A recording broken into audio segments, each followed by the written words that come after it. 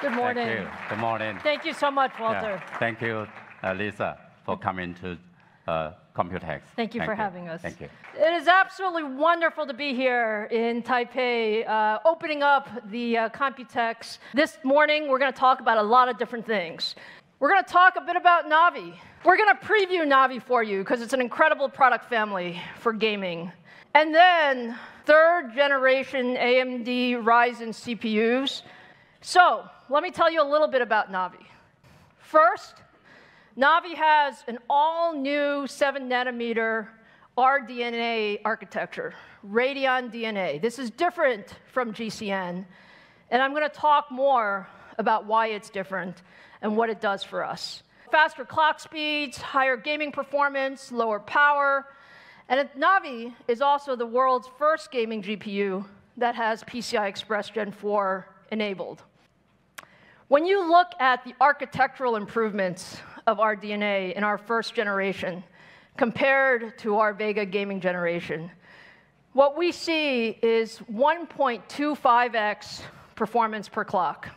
So the way to think about this is that's architectural efficiency. Every clock cycle, you get more performance because of those compute engines and how we've optimized the pipeline. And then when you put that together, both the architecture, the design capability, as well as the process technology, we're seeing 1.5x or higher performance per watt capability on the new Navi products as a result of RDNA. Now that you know about our new architecture, it's time to meet the Navi products. So let me introduce you to the first Navi GPU. 7 nanometer architecture, RDNA, RX 5000, and some of you may say, this chip actually looks pretty small.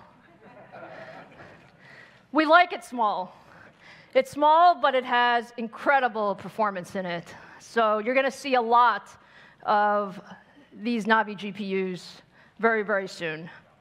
Now, with that, we also want to show you Navi in action. So behind me, you'll see that Chris over there has already started the benchmark running. This is Strange Brigade. It's running on two GPUs. On your left is the RTX 2070, and on the right on the screen is our brand new Radeon RX 5700 series GPUs. You'll see that on average, the RX 5700 GPU beats our competition by roughly 10% performance in this very early edition of the game demo. So I'm super excited about that. So our fans right. want to know when can they get their hands on Navi? So we will be launching everywhere in the world at retail and e-tail, available in July. And so I'm very excited for that. So that's just a little bit of a preview of what you will have in store for you for Navi and our RDNA architecture. Are you guys ready? I am so excited today to talk to you about our third generation of our AMD Ryzen. The core truly is the engine of our third gen Ryzen. And Zen 2 is an incredible core. When you take a look at some of the features, we doubled the floating point. And why is that important? Doubling the floating point in PC applications means you have faster performance in creative workloads for all of those content creators who want to do more. We also doubled the cache size because access to memory is so important. And we believed that if you reduce the memory latencies, you get much, much better performance, particularly in games. And then the most important piece of Zen 2 is the IPC, or the instructions per clock. And so today, I'm happy to share with you that Zen 2 in the PC workloads actually achieves 15% IPC uplift. All right, so let's start with the very first third gen Ryzen product. It's the Ryzen 7 3700X. The 3700X is the world's first 7 nanometer desktop CPU. It has 8 cores, 16 threads, 4.4 gigahertz boost frequency, 36 megabytes of total cache, and all in an amazing 65 watts of TDP.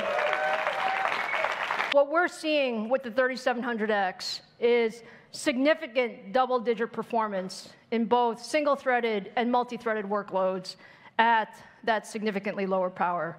So more performance, lower power, third gen capability. But with that, you probably want to see the third gen in action. What you'll see on your right is the Ryzen 7 3700X versus on the left, the Core i7 9700K. And as we churn through this realistic, ray traced scene, you may notice that the Ryzen 7 3700X is uh, quite a bit faster. In fact, it's about one third faster than the competing part.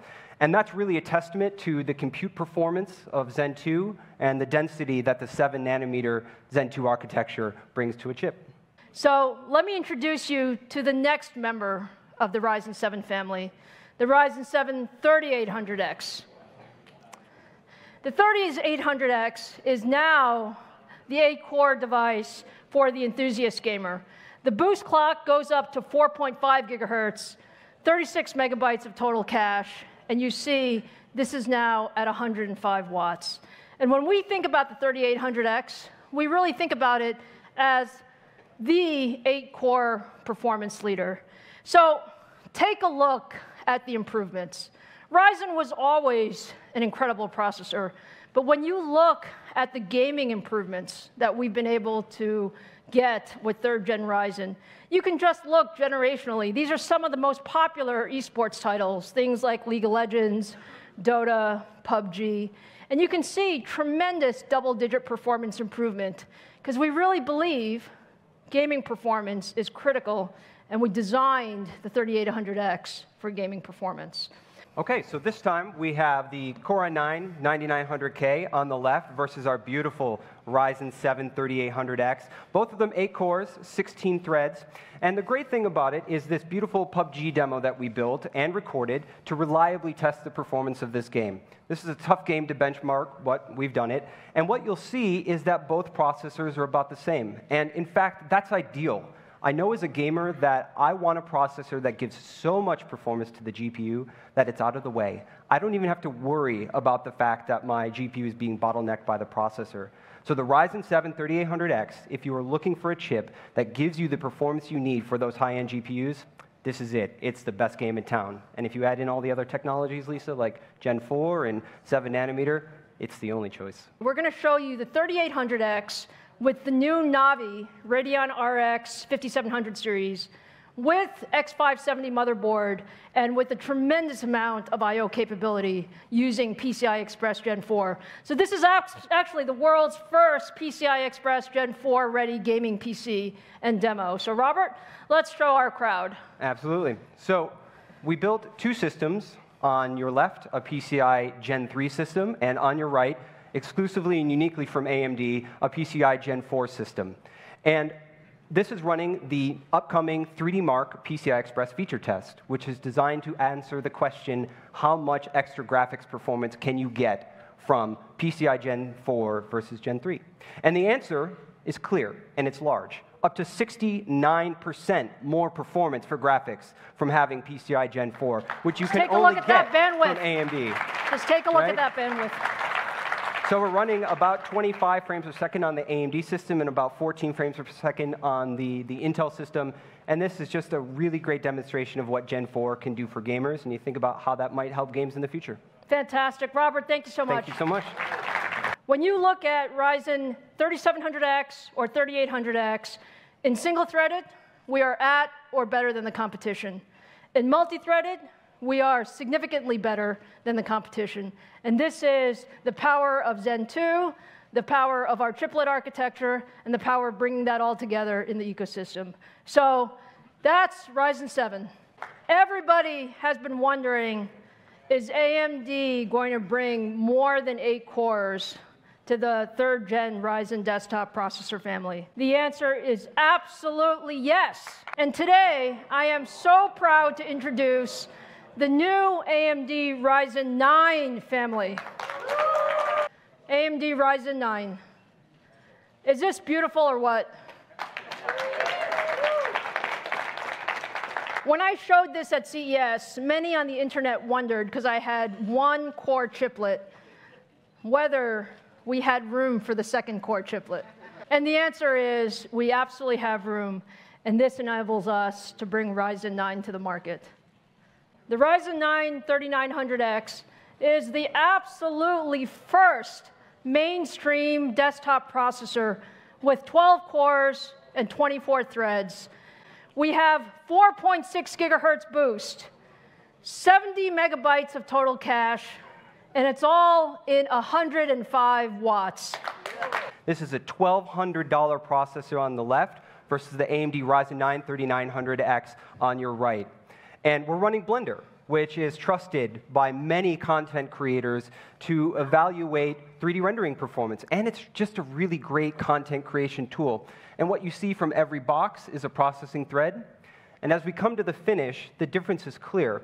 We finished in about 32 seconds versus the competitor's 38 seconds. And that's about an 18% performance improvement for AMD. And we're going core to core, 12 versus 12, which means Zen 2 is simply faster. How much does this cost? when am I going to be able to get third gen Ryzen? The 3700X, $329. And when you move up to the 3800X, this will retail for $399. And finally, the Ryzen 9 family. So when this goes on sale, it will retail for $499. That's half the price of our competition with much, much more performance all of these processors go on shelf on July 7th.